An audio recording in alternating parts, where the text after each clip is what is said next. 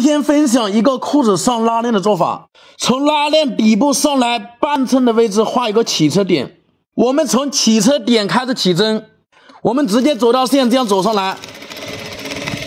打个回针，这边车好之后，再把拉链把它安装上去，我们把这个裁片打开，往下折一公分的做缝，直接贴在这个拉链上，直接车一个零点一的线，这样走上来。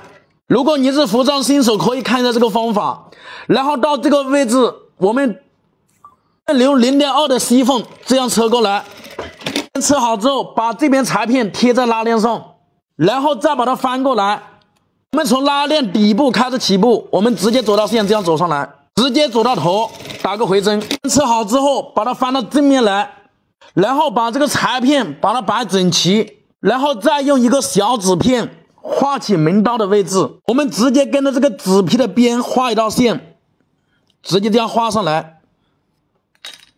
然后我们直接跟着画线的位置，我们走到线走上来。我主页分享了两千多条这样的视频，如果你喜欢我的视频，可以点波小红心。好了，这样就完成了。你学会了吗？